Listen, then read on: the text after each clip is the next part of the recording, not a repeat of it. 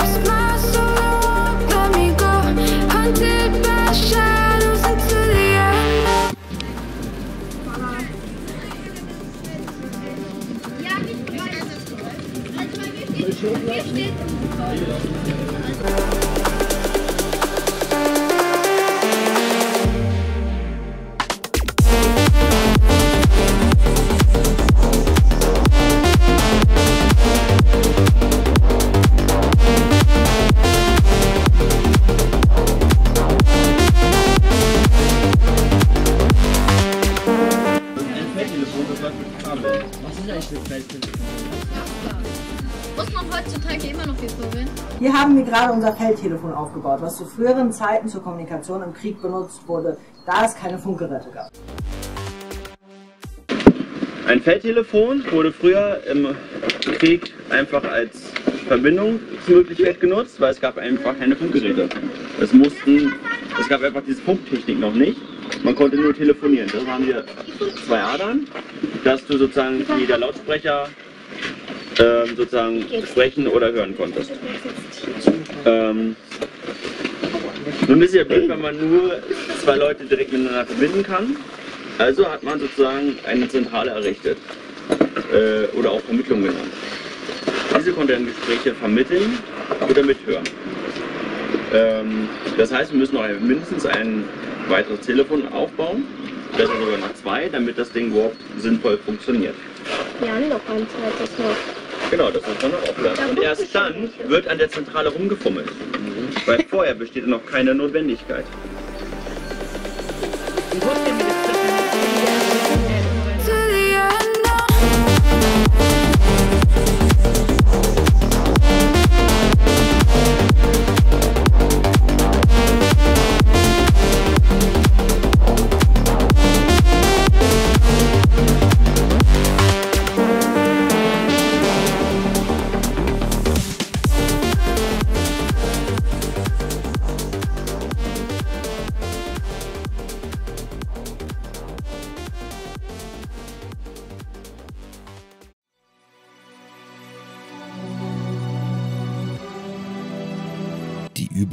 Escape GKW ist für die Jugendlichen ein großer Spaß, da sie sich frei auf dem ganzen Gelände bewegen können und zusammen nach weiteren Hinweisen suchen müssen.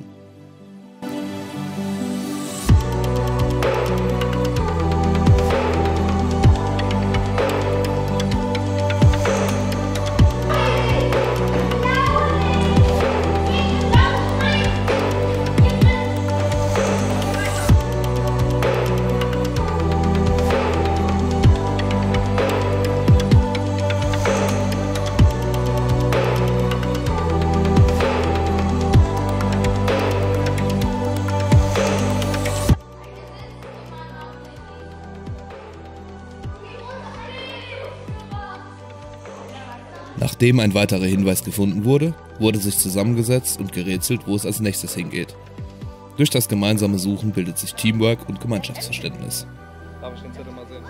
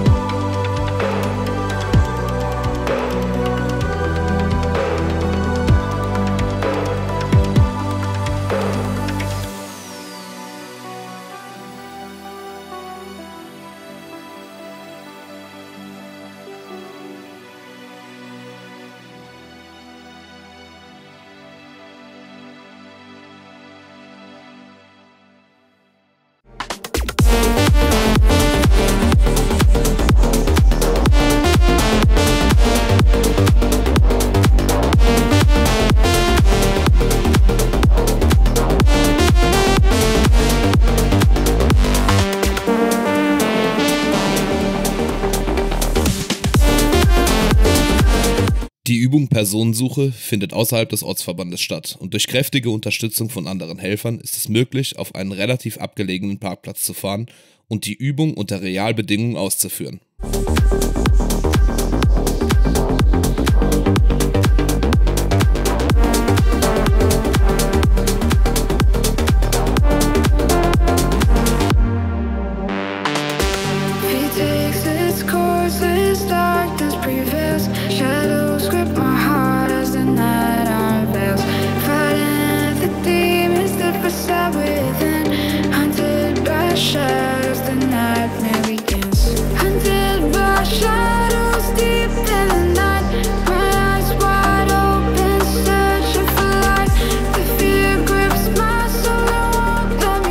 Einzelnen Personen werden ihren Aufgaben zugewiesen und machen sich fertig, den Verletzten zu suchen.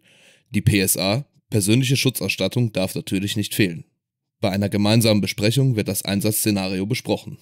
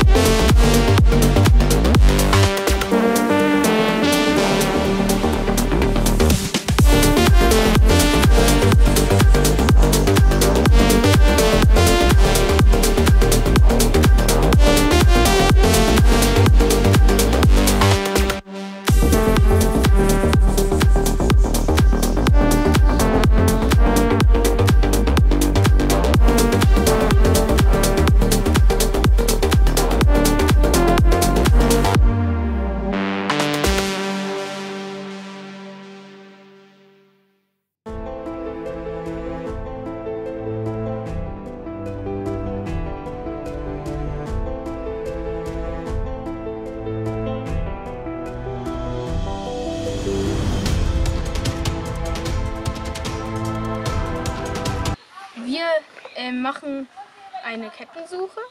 Eine Kettensuche ist, dass äh, man sich zwei Punkte aussucht, ähm, wo sich der Anfangspunkt und der Endpunkt, wo sich da zwei hinstellen und zwischendrin sich die anderen positionieren. Und dann rücken sie gemeinsam vor. Wir suchen eine vermisste Person, äh, die nicht mehr gesichtet wurde. Diese Person wurde das letzte Mal hier an dem Wald äh, gesehen und ist seitdem nicht mehr aufgetaucht. Wir machen das, um es in ernsten Notfällen genauso zu machen, wie wir es in der Übung gemacht haben, dass alles äh, nach dem Plan abläuft. Ich bin jetzt gerade der Truppführer. Der Truppführer leitet die Truppe und teilt seine Leute an. Über unwegsames Gelände ist es sehr wichtig, jeden Schritt bedacht zu wählen und immer den Vordermann im Auge zu behalten, dass man im Notfall eine Warnung aussprechen oder der Person helfen kann.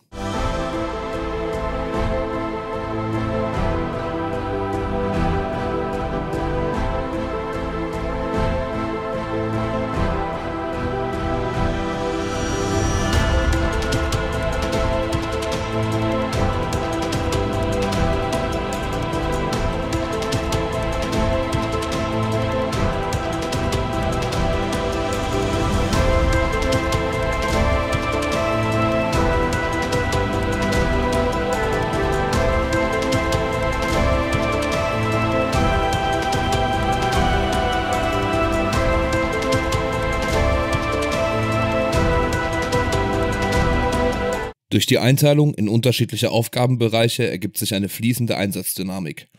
Jeder hat seine Aufgabe und der Truppführer gibt Anweisungen, was als nächstes zu erledigen ist.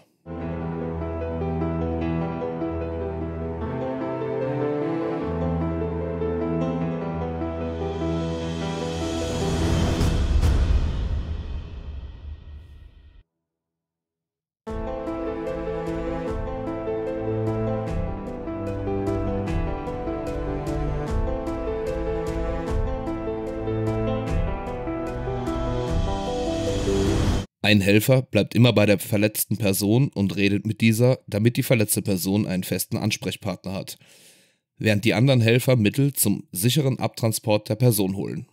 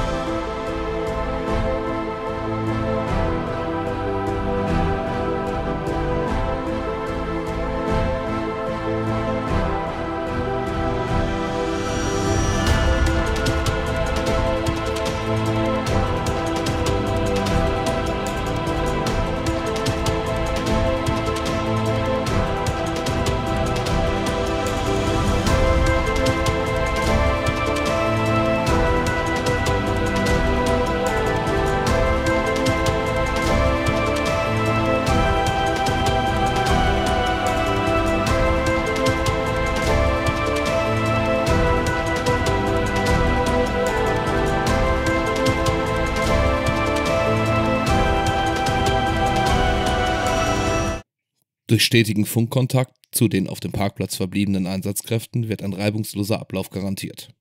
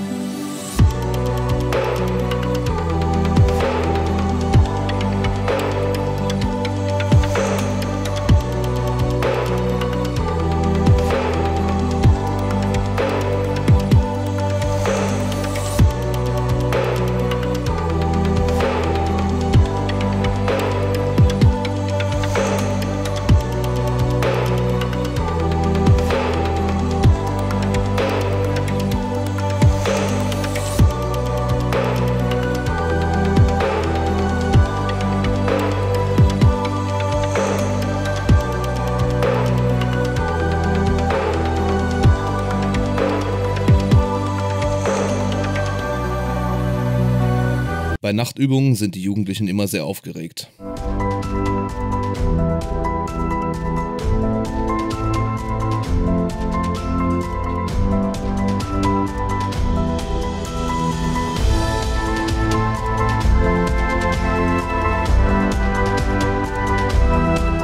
Und natürlich darf die korrekte Absperrung und Kennzeichnung der Einsatzstelle nicht fehlen.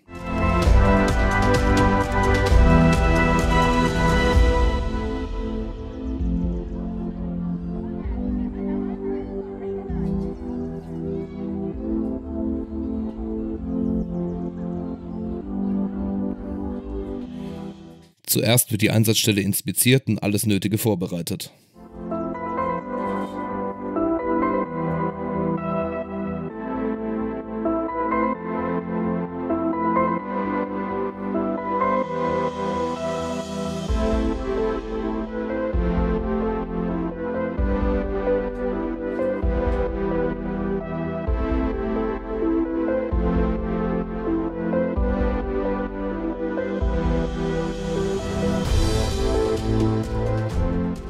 Durch die ständige Anwesenheit der Betreuer ist ein gefahrloser Ablauf des Einsatzszenarios möglich.